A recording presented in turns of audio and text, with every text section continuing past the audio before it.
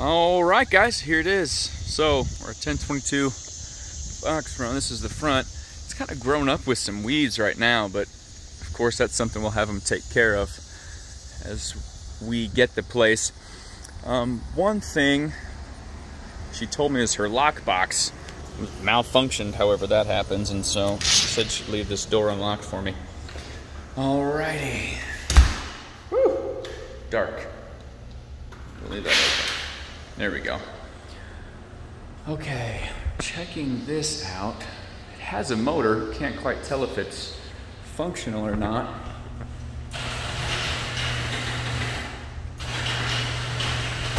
Appears to be functional, so that's a plus. All these homes were built late enough to where, yeah, panel is good. There also is your attic access in your garage. Here we have, I know Kevin what you were worried about are our utilities. So it's a York unit, it is dated. It's hard to find ages on these. Ugh. No, I can't see it on this one. Um, Allenbaugh in Higginsville though, they're a, a good York dealer. But uh, an inspector would tell us the exact make and model of this system. This guy, however, has had some type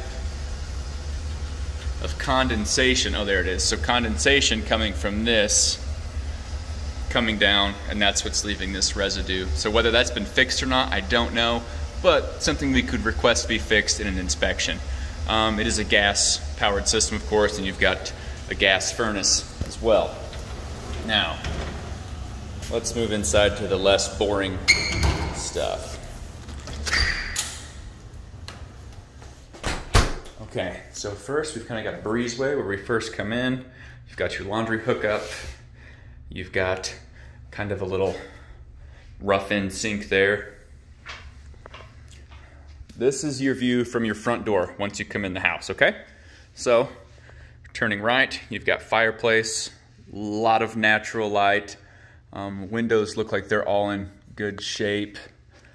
We've got double double paned, but not double hung, but still good windows. Looks like we have a gas starter fireplace over to our left here. Just the lights. And then as we pull through, we got our first choice. We can either go left to the living quarters or right to the kitchen area. So they've done some upgrades to the electrical, as you can obviously tell. Now I'm just gonna follow this wall along right here so you can get a full image of the kitchen and then we'll get a little bit closer for everything. So, big kitchen space, but made a little bit smaller by the fact that it's also an informal dining space. So there's plenty of space here um, for a dining room table or in, well, what's gonna be your guys' situation, I guess, uh, a couple high chairs uh, and you can just eat around the bar. But you know, a couple couple options there for you. Um, backsplash, it is a tile backsplash. It's one of those fragment stickers, so a big chunk of it comes like this, and they just attach all the chunks. Cabinets have been nicely redone. Wondering what's going on with that shelf there. No water damage, although it does appear as if we have a little bit of a leak. See some calcification there. Uh, we've got GFCIs where there need to be, so I like that. Um, fridge has just got a little bit of a tarnish to it. Not really dense, just looks like scratches from maybe an overzealous kid with a bread knife or something. We're already here. Let's just take in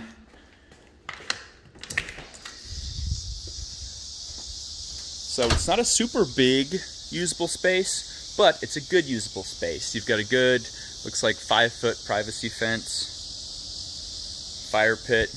You do have the shed that also gives you access straight to the road. So if you've got a golf cart or something you just want to drive around neighborhood, you can, or motorcycle, I guess. But then of course this way, more practical for a little push lawnmower or something. Um, not a roofer, and it's pretty darn bright, so I can't see very great.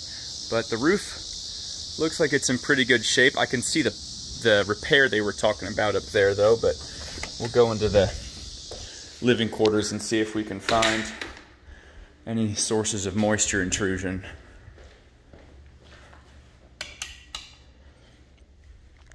Oop, let there be light. Um, okay.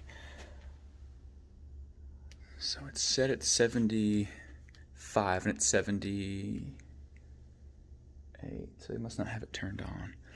Okay, we'll just head counterclockwise all the way around.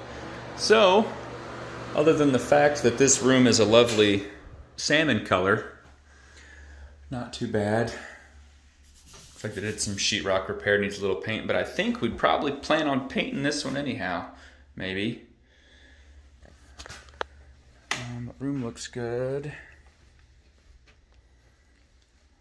Where's our light switch? Here we go. Carpet feels newer, definitely recently cleaned if it's not newer. It's not a crazy carpet, it's probably about $1.50, $1.75 a square foot, um, just kind of above rental grade carpet. Whew. This is a very bumblebee-esque room. Okay. Yellow and black. Those are some aggressive colors. This is probably what they're going to call the master bedroom. We have a his and hers closet. But let me just double check. No, because that one's not en suite. That one has it too, though. Oh, that's right. No, how could I forget that? This one has the en suite bathroom. Well, silly Logan. I guess that's what we get for not having coffee. So, big walk-in master closet like that. Still haven't seen any damage from uh, that roof, so I'm thinking it's been remedied. This is a nice spaced room. Sorry, pardon my attire, but it's casual Friday and I'm living it up. Okay.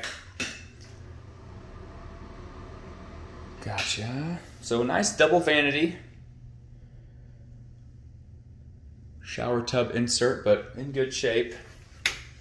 And that, guys, concludes the tour. Hope you like it. Um, can't wait to hear what you have to think.